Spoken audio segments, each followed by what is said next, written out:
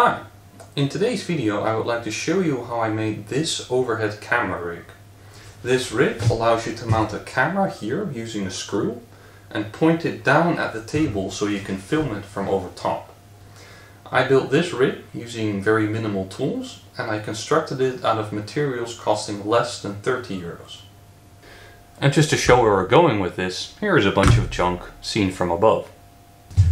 Now the first thing I need to do is cut up a number of strips from this sheet of plywood. And to do that I'll be using my jigsaw. And the reason for this is I want to show you that you don't need any special tools for this project. Now the jigsaw is not capable of making very straight cuts. And to compensate for this I'll use the fact that the edges of the sheet of plywood are straight from the factory. And so what I'll do is put an F with an arrow pointing outward on each edge so that I can keep track of which edges are the factory edges. Now, this is a 610 by 1220 millimeter sheet of plywood and it's 18 millimeters thick. In American units that would be about 2 feet by 4 feet and about 3 quarters of an inch. So what I'll first do is go along the short edge and make some marks. So I'll first make a mark at 50 millimeters. I'll make another mark at 60 millimeters. I'll make a mark at 190. I'll make a mark at 200. And then I'll turn around my tape measure and make another mark 50 millimeters from the other edge. And then I'll go to the other side and I'll make the same marks over there. The next thing I'll do is connect the marks from one end to the other. So I'll connect the 50 millimeter mark with the 50 millimeter mark, the 60 millimeter mark with the 60 millimeter mark, and so on. So you can just lay out your tape measure like this, find the corresponding marks, and then carefully you can draw a straight line along your tape measure.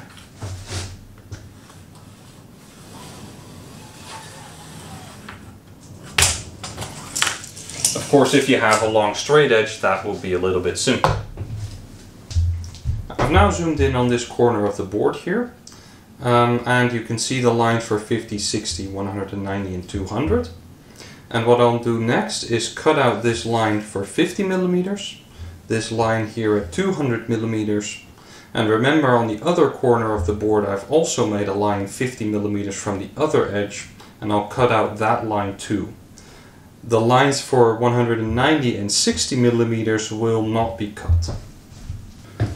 I've now clamped the board to my table with these two clamps here. That just makes the process a little bit more convenient because I can hold both of my hands on my saw. And so, let's get cracking.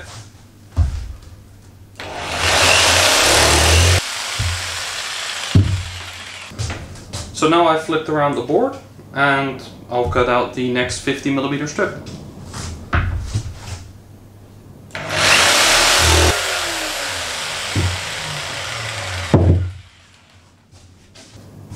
Now I'll make what is for now the final cut, which is this line at 200 millimeters.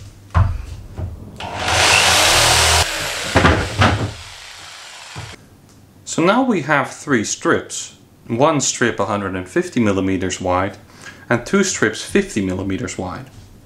And both of the thin strips have a factory edge to them. So now we want to put the three together like this, such that the factory edge of the thin strips faces the flat end of the thicker strip. And this will create a stiff girder which will be the top end of the camera jig. Now remember that we've drawn these 60 and 190 millimeter lines before we started. And these are now roughly 10 millimeters away from the outer edges of the thick strip. And 10 millimeters is just a little bit more than half the thickness of this material. And so what I'll do is make some marks along this line and along the other line as well and then we'll drill some holes through those marks. So I'll put a mark here at 11, uh, 31, 51, 71, etc. Now I'll be using these 3 by 30 millimeter screws And to use them effectively and to prevent the wood from splitting apart, I'm going to drill pilot holes using a 2.5 millimeter drill bit. Uh, it's important that the drill bit is smaller than the screws so that the threads can still grab, but still quite close in size so that you don't put too much pressure on the wood and the wood doesn't split apart. For drilling the holes I recommend first that you use a sacrificial board on the back and this ensures that the exit hole of the drilling operation doesn't get all gnarly. And the second thing is you want to ensure that you drill as much straight down as you can. And you want to definitely avoid putting any sidewards forces on this drill bit uh, because it is quite a small drill bit so it is quite likely to snap if you do so. The next thing I'll do is put the screws in all the holes. And I'll put the screws in just deep enough that the tips stick out at the other end of the board. So I've already done one here and if I now put this one through, you can see both of the tips coming out at the other end. And I'll put in the screws in the same manner for all the other holes now. Now we're going to take one of our thin strips and we're going to place it against the screws like this. And now I'll check on this end to try to get the screw to hit the middle of the board and then I'll give it a tap with the hammer. And then I'll go to the other side and try to do the same thing. And then once that's done, I'll just tap it all around. And that should leave indentations in the wood. And you can use these indentations now to drill the pilot holes into this piece of wood and that will hopefully prevent this piece from splitting apart if you drive the screws in. And of course you'll do the same thing to the other piece and then we can screw and glue them together. So I've now attached the first thin strip using only the screws and frankly I'm quite happy with how this feels so I think I'll just skip the step of gluing it. I'll just use the screws to keep it on and I'll continue with the second strip. So I've now screwed in the second thin strip and I'm still happy with how it feels. Uh, it's a little bit off here and there and there are some other imperfections to it, but again, basic tools and it'll do the job. So this part will hold the camera, which will, should go somewhere around here. And so it should be suspended in the air, kind of like this. And so what we need to make next are two feet that will keep this thing in the air. And that's what we'll do next and we'll cut those out of the remainder of our original sheet of plywood. Now we have two factory edges remaining on our original board. This one on the short side over here and the same on the other end over there. And what I'll do is the same thing as what we started with. So I'll mark out a 50 millimeter strip on this side and also on the other side. And then I'll cut that out and then I'll do the same thing on the other side to make two 50 millimeter strips which both have a factory straight edge. So I've now cut out the two strips and both of these strips have a factory edge to them. And these strips will be the feet of the camera rig and it will go on the table a little something like this. And then we need two legs now going up, which we still need to cut and then those legs will support the main beam on the top which will hold the camera.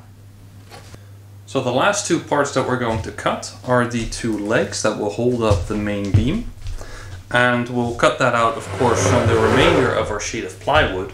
Now our main beam is 150 millimeters wide across here. So we want the legs to also be 150 millimeters wide.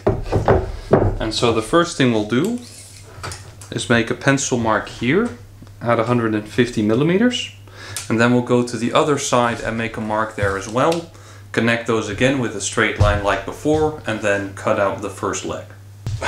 So I've now cut out both of the legs and so I want to go over once again what has become of our plate.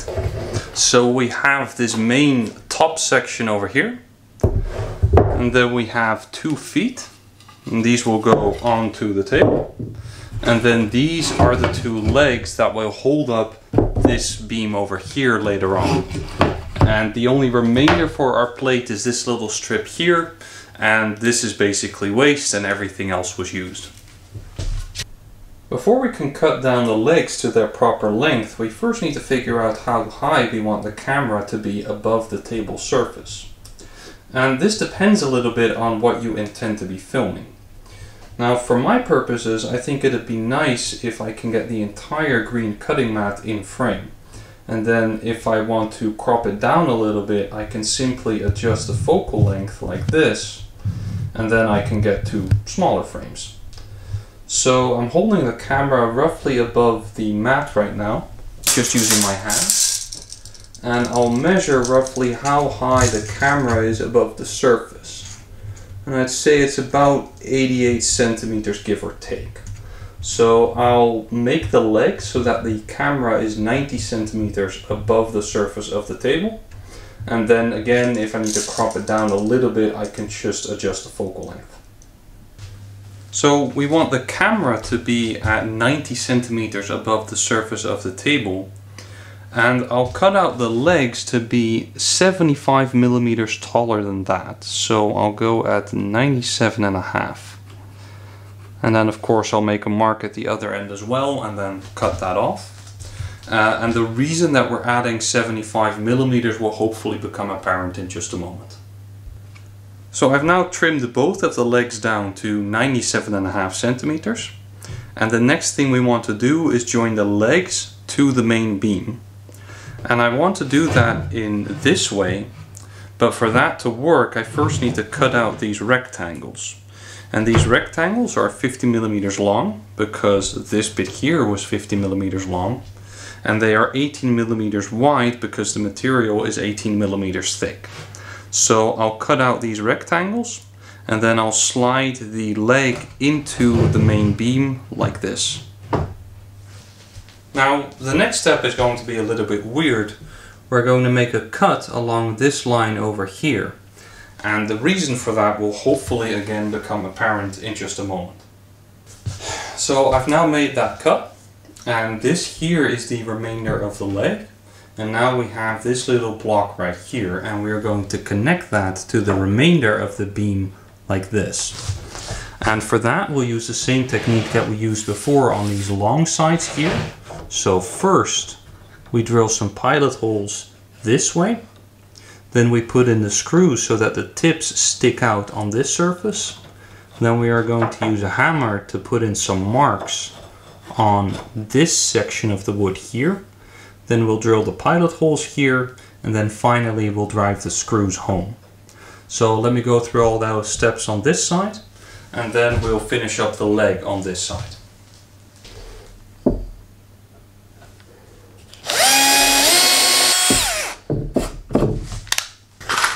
Next we take some screws and we find our screwdriver and then we just screw them through until the tips come out at the other end.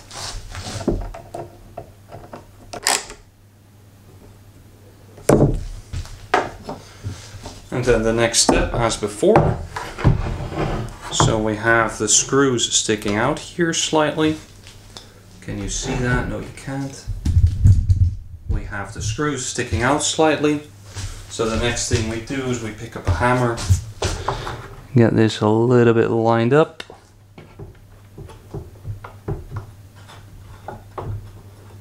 And then tap this home. And then we can see the marks here. And these marks are nicely on the center. So I'm happy with this. So I'll drill these out and then connect everything up.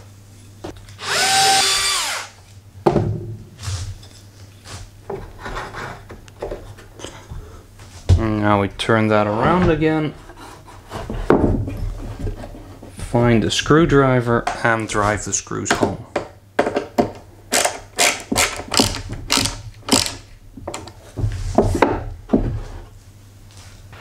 So now we have this sort of end plate on our main upper beam. And what I'll do now to the leg is once again cut out one of these 50 by 18 millimeter rectangles on both sides. Again, so that the leg can slip in there nicely. Seems a little bit weird, but the point will become clear in just a moment, I swear. So I've now made new cutouts in the legs here and here. And so the leg can fit in like this. And the next thing that I'll do is take my drill, but this time with an 8mm drill bit, and I'll drill two holes through this end cap of the main beam. And this will be used to connect the leg to the upper beam using some nuts and bolts. And the point of that is to ensure that you can remove the legs so that you can store the entire thing a bit more compactly. So I've now drilled these two holes here and now I'll insert the leg on the other end. Just let clear out some sawdust. So I'll put the leg in like this. And then I'll stick my drill through the hole. Give it just a little bit of a spin.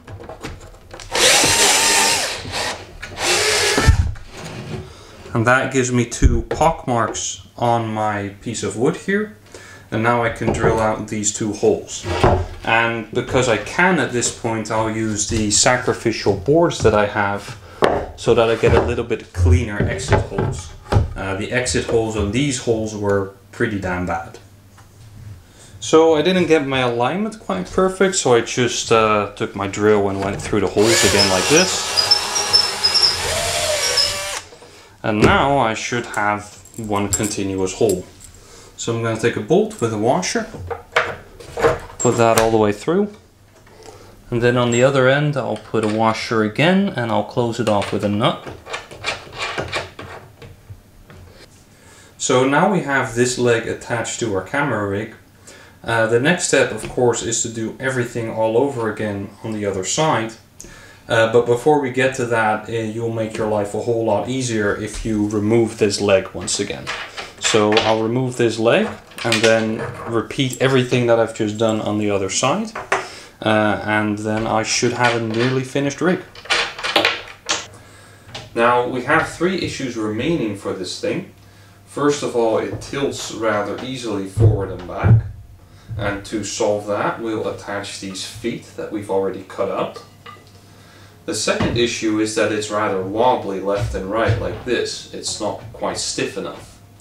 And so we have this piece that I've called waste yesterday. Well, it's not waste. Uh, I'm going to cut it in half and make basically triangle braces here and here. And that will stiffen up the frame a bit. And then the final thing we have to do is attach the camera. And just to show you where we're going with this, uh, we're going to attach the camera roughly over here, pointed downwards at the table. So let's start out with just adding the triangle braces. And for that, I'm going to take this piece of waste that I had. It's 111 centimeters wide, so I'm going to put a mark at 55 and a half. And I'm just going to cut that uh, strip in half at that mark. So I've now cut that one strip into two strips, and the next thing I'll do is drill a two and a half millimeter hole on one side and an 8mm hole on the other side. So let's start with a 2.5mm hole. And I'm just doing this by eye because this entire cross brace thing doesn't have to be precise in any particular way. So just roughly go for the middle and drill out the hole. So those are the two holes. And then we can put them onto the frame. So I'm just going to hold one of these cross braces roughly like this. And this is roughly 45 degrees I would say. It again doesn't matter much. So I'll just hold the piece in place like this. Stick my drill through. And make a quick drill tap here. So now I have a little pock mark here and I can drill this through the entire way and now I'll go find a bolt and I'll put that through and then we can attach the other side. And as always, we want this to be nice, so we're going to do a bolt, a washer, then the two plates, attach it a bit like this, then add another washer, and then finally the nut.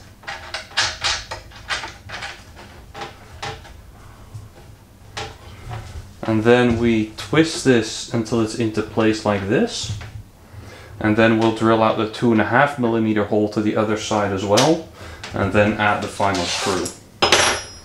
And then that should roughly do it. Again just touch it off a little bit. And then you can see a little pock mark here. And I can also see also because of the plies of the plywood that I'm nicely in the center of the wood and this is quite important again to prevent the wood from splitting and then I can just screw this in. So that stiffens up this side substantially and now I'll just repeat the entire thing on the other side and then the frame should be nice and stiff. So now we want to attach the feet to the legs and for this I'll first move out the feet to the front like this because the camera will hang on one side of the rig and so we need to prevent that side from tipping over. Now on the bottom here, I have propped up the legs on some washers. I have two washers on the front there and one washer here and it's not quite leaning on that, it's a bit front heavy. And the goal now is when we go back up to the top that the spirit level is at least roughly level. Now this may not be important to you but if we're going to do this anyway we might as well do it right. I've now clamped the foot to the leg using a pair of these quick clamps. Now if you don't have clamps of this type then you should still be able to do the trick basically the same way but it'll be a bit less precise but the camera rig should still work fine in the end. It's important that the foot rests on the table and not the leg. The leg should rest on the washers and that the factory edge of the feet is facing the table. If all that is the case, you can start drilling the holes. So now I can remove the clamps. And you can see the two marks here. And I'll finish drilling those out right now. Once you finish drilling the holes, the easiest thing to do is lay the camera rig on its back. And then again, we need to ensure that the factory edge is down. And then we can just put the bolts through the holes and we can wrap it up on the other end with some nuts. So I've now flipped the entire rig around uh, so we can attach the foot to the other side. Again we have to ensure that the factory edge of the foot is facing the table and again we are going to put it mostly forward. Again we're going to put washers underneath the leg but here notice that I have a lot more washers. And this is because we have to now look at level in two different directions. So if we go back up to the top, you can see that it is eh, level enough for me here in this axis, but also very importantly, it is roughly level in this axis, in the left to right direction. Uh, and so this is good enough for me, I'm satisfied with this. Uh, so now I'll clamp the foot down again and I'll drill out the holes. Alright, so the structure now of the camera rig is complete. Uh, it's certainly not the prettiest thing I've ever built, nor is it the sturdiest, but it is good enough to do the business. So it's quite a bit stiffer now in this side-to-side -side direction, and while it's quite simple to tilt it over backwards like this, it's actually quite hard to tilt it forward like this because the legs stick out mostly forward. Now we're going to mount the camera over here in the middle, uh, but that's going to be a little bit difficult because it requires inch standard hardware and that's a little bit tricky because I live in the Netherlands, which is a metric only country. So let me show you some of the things that you can do to make that work. Now the difficulty is that most cameras have a quarter inch 20 threads per inch unified national coarse screw that has to go into the bottom of them. And if you have a much larger camera, it will be a 3 8 inch by 16 threads per inch screw. Now these screws are pretty hard to come by here in Europe, but if you look for them, you can find them, and you have to find one because there's no other way to get the camera mounted. That's not your only problem though, because you also have to drill a hole through the wood here that will allow the screw to pass. And for that, the most suitable selection I found is to use a 6.5 millimeter drill bit. But that is a little bit rare, and even a 7 millimeter drill bit may not be in your arsenal. And so the other thing you can use is an 8 millimeter drill bit. Now, if you're going to do that, you will need a washer though to support that. So the nice thing is that a quarter inch 20 screw like this actually fits through an M6 washer like this. So that's very useful for us because you can get M6 washers quite easily. But what you can also buy is an M6 washer that has a larger outer diameter. So if we compare these two, these are both M6 washers, but one is clearly larger than the other. And so if you use a larger washer like this, you can actually get away with drilling a much larger hole than it needs to be. So I'm going to drill a six and a half millimeter hole simply because I have a six and a half millimeter drill. But if you are forced to use an eight millimeter drill instead, then know that you can use a larger washer like this to still make this work. So I've now drilled the hole and put in the screw. And notice in particular that the screw doesn't stick out very far. This is necessary because the hole in the base of your camera usually is quite shallow. So you don't want this screw to stick out too far. If you do find that your screw is too long, what you can do is simply take more washers and basically push the screw further outward simply by inserting more washers behind the wood like this. And if you just stack up enough washers, then at some point you will have a shallow enough screw here that your camera sits flush against the wood. So let me mount the camera and I'll show you a picture of that.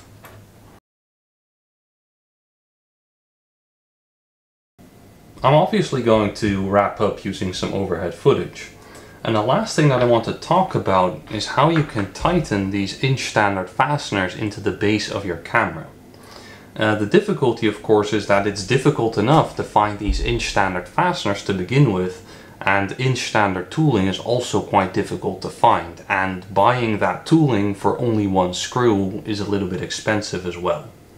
Um, so, of course, you can't just finger tighten it, but that feels a little weird, especially because you're hanging up a relatively heavy and expensive camera, and you want it to be mounted stably and securely to the frame. So one thing you can do is simply use a pair of pliers to uh, turn the screw in. Um, people might yell at you because you're going to round over the head, but you should be fine. Um, the other thing I found that works quite well is using an 11 millimeter socket or wrench. That fits quite nicely over the head of a quarter inch bolt.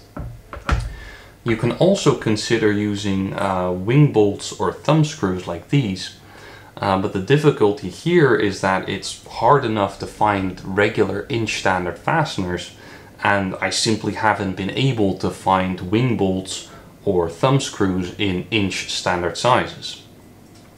So what I did instead is I modeled and 3D printed this little bit here. And this is a fairly simple model and what you can do is you put your screw in like this um, and then this hexagonal pocket is rather tight. Um, so what you have to do is use either, either a hammer or a vise to press in the screw. Um, and then what you end up with is essentially a thumb screw. And then you can use that to attach the camera to the frame. Um, with that, I'd like to thank you very much again for watching. As always, you can find the required files in the description below. Um, I will also include a little sketch on um, how exactly you need to cut up the uh, plywood board in case that wasn't entirely clear. And of course the file for this little bit will be down there as well. With that, I'd like to thank you once again for watching. Have a great night.